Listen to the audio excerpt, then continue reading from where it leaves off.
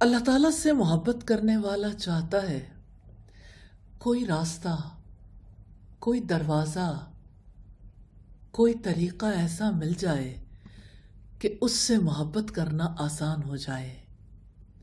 अल्लाह ताला की मोहब्बत दो तरह से हासिल होती है। ये दो दरवाज़े हैं। पहला दरवाज़ा है अल्लाह ताला के इनामात का, उसके एहसानात का। उसकी नवाजिशात का मुशाहिदा करने से। हाँ मुशाहिदे से मोहब्बत जन्म लेती है। क्या इंसान की फितरत नहीं है कि जो उससे अच्छा सलूक करे, उससे मोहब्बत करने लगता है?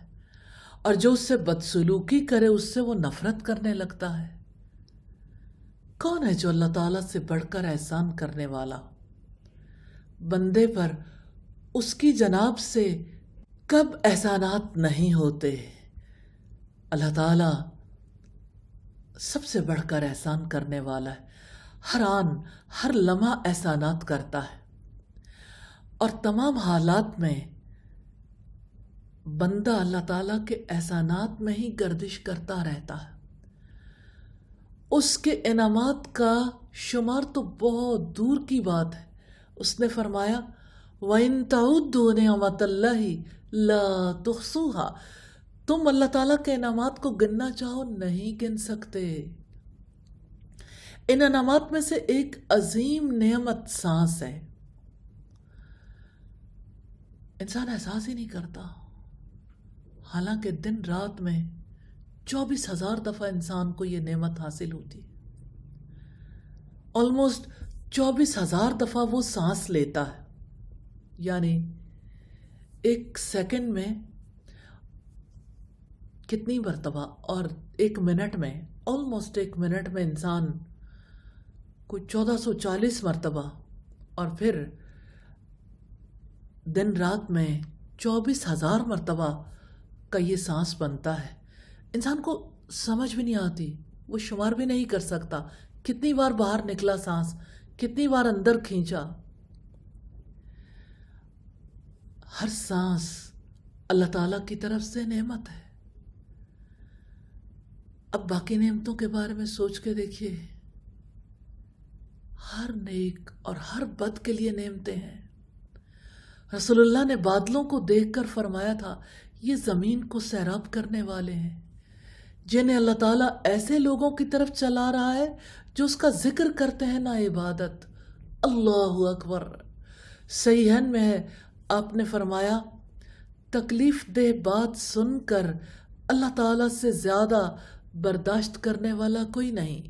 लोग अल्लाह ताला की औलाद करार देते हैं और वो उन्हें रिस्क और आफियत अता करता है।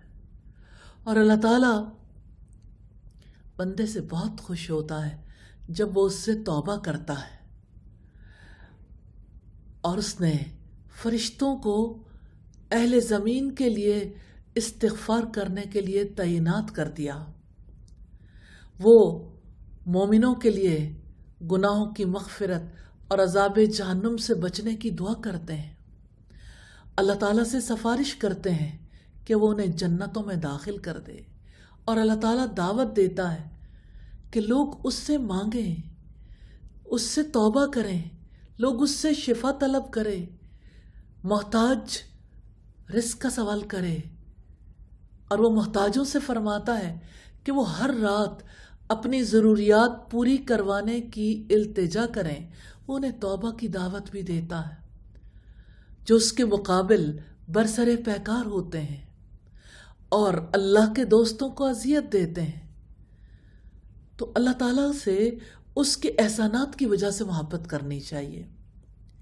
एक मरफू हदीस में अहिबुल्लाह लिमा यगजूकुम मिन न्यामी व अहिबूनी बिहब्बिल्ला अल्लाह ताला से मोहब्बत करो कि वो तुम्हें अपनी नेमतों के ज़रिए गज़ा देता है, और अल्लाह ताला की मोहब्बत में मुझसे मोहब्बत करो। जब कोई पहले दरवाजे से दाखिल हो जाता है ना तो उन्हें दूसरे दरवाजे में दाखिल होने की दावत दी जाती है, और वह है अल्लाह ताला के असमाओ सिफात का दरवाज़ा। जिसमें अल्लाह ताला के ख़ास बंदे और औलिया ही दाखिल होते हैं। ये सच्चे मोहब्बत करने वालों का दरवाज़ा है। इनके सिवा इस दरवाजे से कोई दाखिल नहीं हो सकता। इस दरवाजे से गुजरना असमा सिफात का इल्म हासिल किए बगैर मुमकिन नहीं है। तो जब कभी किसी को अल्लाह ताला के नामों की मार्फत मिलती है, शौक बढ़ता है, मोहब्बत बढ़ती है, प्यास बढ़ जाती है।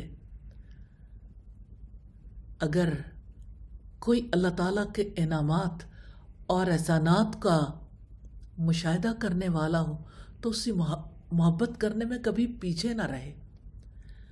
अल्लाह ताला ने दिलों को इसी फितरत पर पैदा किया है कि वो कामिल अखलाक के साथ मोहसिन से मोहब्बत करते हैं।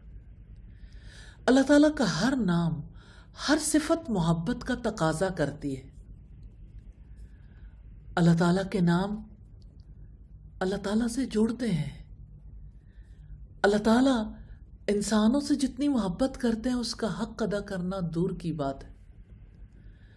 सबसे ज़्यादा अल्लाह ताला की मार्फत रखने वाले ने सबसे बढ़कर मोहब्बत करने वाले ने फरमाया, ला उसी सनाली अंत कमास नई ताला नफसिक।